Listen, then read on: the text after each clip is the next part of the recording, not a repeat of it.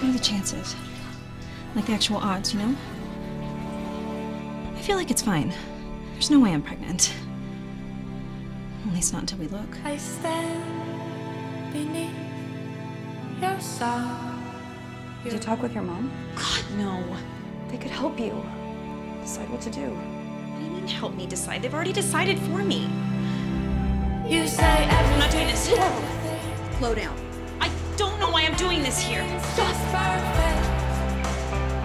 Because you verbally didn't say no doesn't mean you gave consent.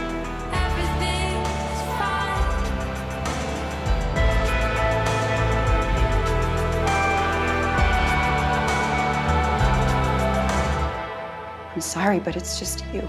You say everything, everything